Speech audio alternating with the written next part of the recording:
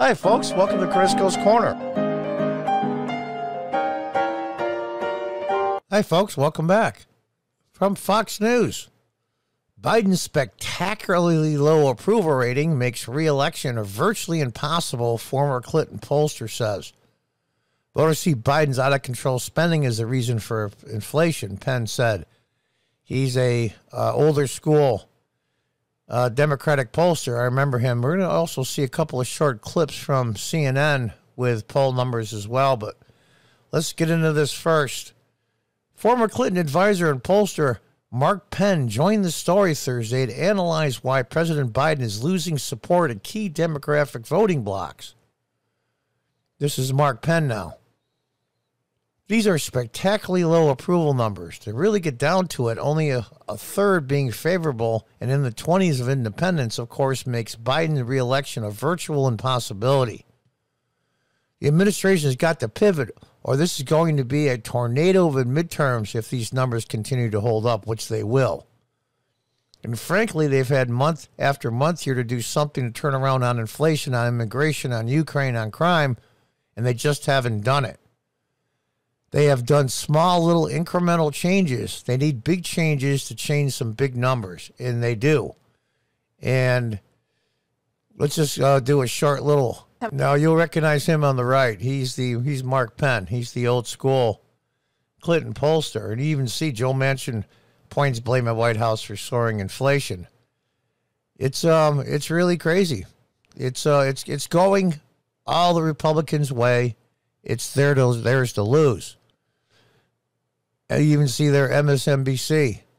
RNC demands on presidential debate, and they were reasonable demands. Reasonable. In other words, one of them was the debates are multiple days after early voting or mail in voting. A lot of the states have early voting, mail in voting, and we can go back and forth on that, but it is what it is. And the debate was there was millions of votes cast before the debate. And the Republicans said, wait a minute, that's not fair. And it's not. And they wouldn't change it. So the Republicans just said, we're out. We're out of here. And nobody can really blame them. Now let's look at a couple of uh, couple of clips here from CNN considering polling. You know, you'll see here. Polls. Biden hits new approval lows with 200 days until midterms. So that's a good uh, benchmark 200 days. Uh, let's see what they have to say. Look at the charts there. And they're looking at net approval. What they do is they take the approval, the disapproval, subtract one from the other, and that's how you get that number. Look at Bush in 2022. Of course, that was 9 11, plus 30. His father, plus 22. Clinton, plus 11. Trump, plus 3 in 2018. Obama minus eight in 2010. That was Romney's to lose in 2012, and he choked, just like Trump said. Reagan was even down. Of course, in 84, he turned it around. It was a landslide. Carter, of course, I remember distinctly. I got married in 79. I got high school in 74, and I remember that time. It was horrible. And Biden is even lower than Carter. So I'm sure Jimmy Carter appreciates that. But let's let's just take a look at what this uh, these two clips have have to say concerning the poll numbers and approval. It's um it's pretty crazy. One of the things driving this, the economy or economic concerns, I should say. Yeah, economic concerns. So you know, look, we spoke about this earlier in the week. You know, if you look at jobs, the economy is doing pretty good. You look at see the University of Michigan Consumer Confidence Index at this point in the presidency and they go back, as you can see, till 78 in other in other years as well, in April, which is the month we're in, and look at 2022, 66%. It's uh, not very good.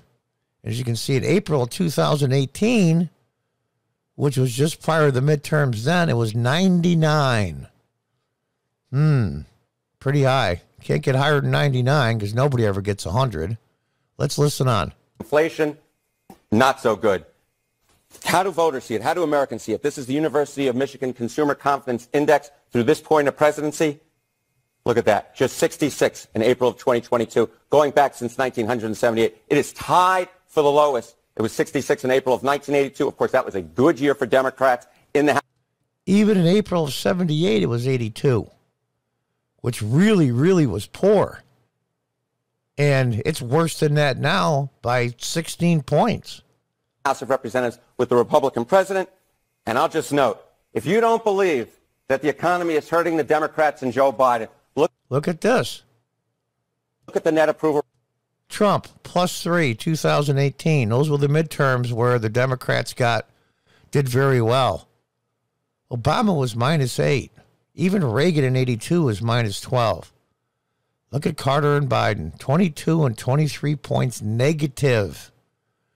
Trump in 2018 plus three, Biden negative 23. That's a 26 point swing. rating. That's approval minus disapproval. Joe Biden at this point, minus 23 points. That is the worst on record since they started asking about economic job approval ratings back in That is the worst since they started asking about economic approval ratings. The worst. And they're going back till 1978. I'm not sure when they started these polls, but that's that's uh, almost two generations ago. 1978 with Jimmy Carter, who, of course, ended up the economy ate his presidency and put it to bits. Marianne, thank you. Thank you, sir. There is Now you're going to see another clip here. Biden hits new approval lows with 200 days. It's still the same headline, but this is going to be interesting what he says concerning this. brand new polling out on the presidential approval rating, and it's not good for President Biden.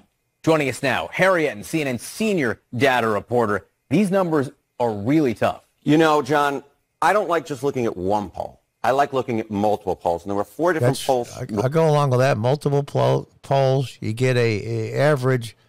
Some polls are skewed left, some are skewed right. It just depends on who it is. Normally, most polls are skewed a little bit dem, if not a lot dem. So you're probably looking at these numbers are probably worse than they really are. But at least he's getting a uh, an average of all the polls. released this week. Uh, Quinnipiac, we had a uh, Hart Public Opinion Strategies polls. That's with NBC or CNBC, Ipsos Reuters, C- CBS News, YouGov. I want you to look. These numbers kind of differ. They range from the low 30s to the low 40s. Low 40s is not good either. But what's key is the lowest are tied for the low for the pollster. Lowest tier, lowest tier. This is one point off the lowest, lowest tier. And when you have three or four pollsters showing the lowest numbers for the President of the United States, that is indicative Yes, he's right. We'll we'll see these polls are skewed. They're skewed Democrat. But what he's saying is that they're the lowest or tied for the lowest for the pollsters they've ever had. So even if the numbers are skewed, all the numbers are going south for President Biden and the Democrats, which which shows that there is movement. Now, these polls are probably worse for Biden because they're skewed Democrat. What he's trying to say is that even the ones that are skewed in Biden's favor are all at the lowest point or tied for the lowest for any pollster. And that shows a definite huge movement downward for the Democrats. of a president who's in a lot of trouble, at least to where he has standed historically. Well, let's talk about history here. How does Joe Biden, President Biden, compare to former President Trump in this stage of the presidency? You know, there was always that Now, there's the, there it is, the average job approval rating through this point in his presidency. Biden had four, 41%, Trump had 42. Now, I want you to think about something for a minute. 42 is pretty low for an incumbent president, i.e., in this case, Donald Trump. All of the social media, all of the social media monsters, 90% of the mainstream media was pounding on Trump relentlessly morning, noon, and night. Biden, even though he started to get a few tough questions asked now, is at 41 with almost all of the mainstream media, and all the social media monsters on his side. Everybody that that does news and information and how it's brought to the American people skew it to the Democrats and Biden's favor. And Biden is at 41, one point less than Trump, who was getting pounded relentlessly. Granted, sometimes he was his own worst enemy, and I'm still a Trump supporter. Look at that. He still is one point above Biden. That speaks volumes. Thing. Oh, Donald Trump has the lowest approval rating at this point in his presidency. We did it over and over and over and over again. Well, at this point in his presidency, Donald Trump's number is actually his average approval rating is one point higher than Joe Biden's, which is at 41%, Donald Trump at 42%. A first-term president at this point in his presidency, uh, this is the lowest. This is the lowest for anyone who was elected to the presidency and didn't get up there through the vice presidency. This is a really, really, really bad number. Really, really, really bad number. And with all the help that he's getting and all the help that he did get in 2020 in the election and 2021, as the Democrats and the president were screwing up royally, they got all the help in the world from the media social, cable news, and they're still one point below Donald Trump. That speaks volumes. So let's recap. Biden's spectacularly low approval rating makes reelection virtual impossibility, former Clinton pollster says. Two things going to go on here that I wish I knew answers for that I don't. One is do the Democrats have anybody besides Kamala Harris to come up? They can't get rid of her, even though they want to. I wouldn't give up the vice presidency if I was her. The chances of her being president are probably about 90%, assuming Biden does not make out the full term. But they're stuck. They have to keep with Biden until 2024, prop him up somehow, physically, mentally. I don't know how they're going to do it. It's like the old saying goes when the you know a dog chases a car. Well, the Democrats caught the car. Now what do they do? They don't know. They've burned all their bridges to make sure that Donald Trump didn't win re-election. We can't go into detail here because this is YouTube, but they did everything they possibly could to just squeak by. And the Electoral College, Trump only lost by 20, 25,000 votes. So they're screwed over. And the other thing that's still up in the air is will Trump run again? He has something to lose this time, he can always use the asterisk over the 2020 election saying that things happened that shouldn't have. I can't go into detail, and that's the way Trump thinks. So he can always say, listen, I won. I pulled the inside straight against Hillary Clinton. The Democrats did what they did, and I think this is what they did, and I can't say. Of course, this is YouTube. And he'll always have that for the rest of his life. Or they pick somebody else for the Republicans to run, like i.e. DeSantis.